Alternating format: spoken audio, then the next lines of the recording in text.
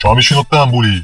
Ieri notte ho visto uno dei film più trucidi della storia del cinema italiano, uno contro l'altro, praticamente Amici, uscito ad aprile 1981 con due dei miei attori preferiti, anzi tre, Thomas Milian, Renato Pozzetto e c'è anche qualche comparsata indimenticabile di Bombolo.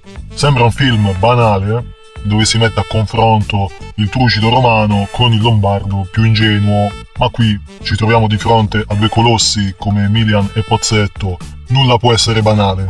Pozzetto è Franco Colombo, un ingenuo che eredita una ditta di carne in scatola e per evitare il fallimento, su consiglio dell'astuto avvocato della ditta, l'avvocato Randolfi, parte a Roma per consegnare una valigetta con 100 milioni una bella mazzetta, nelle mani di un onorevole corrotto per ottenere un'importante commessa di forniture all'estero.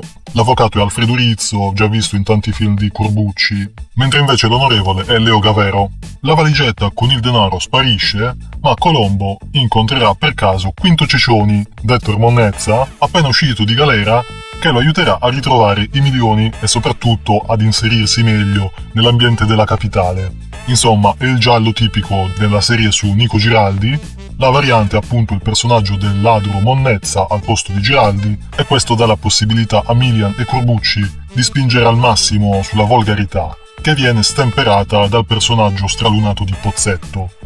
Esce fuori un capolavoro unico, con Monnezza che porta Colombo in gita a Roma, tra osterie, Luna Park e Troie. Ah. E Cecioni ovviamente invita anche il nuovo amico a casa sua per un bicchierino notturno e coglie l'occasione per presentargli tutta la famiglia, moglie trucida, nonno scorreggione e cognato travestito. C'è anche la bellissima Anna Maria Rizzoli nei panni della sorellina di Quinto che si differenzia dal resto della famiglia. E qui nasce la storiella d'amore e Colombo si irrigidisce vedendola tutta nuda. Ah. Film come questi purtroppo non se ne fanno più, anche perché non esistono più comici di un certo calibro, come ad esempio Bombolo, qui in una delle sue poche apparizioni al di fuori della serie Giraldi.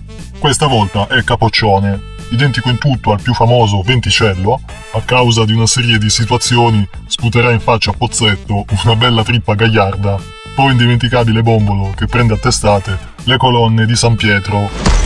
La colonna sonora affidata ai fratelli De Angelis sembra un best-of degli Oliveronions.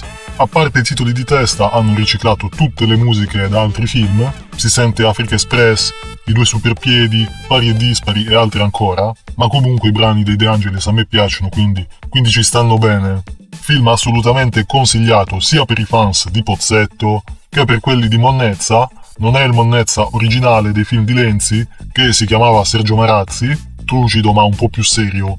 Lo hanno chiamato ugualmente Monnezza, forse aggirando vari problemi di copyright, ma qui la volgarità è all'ennesima potenza. L'incasso ai botteghini fu più di un miliardo, evidentemente non è stato un capolavoro solo per me. Unico difetto, la fotografia abbastanza scura, molte scene sono in notturna ma potevano essere riprese meglio, almeno per come si vedono nell'edizione DVD che ho.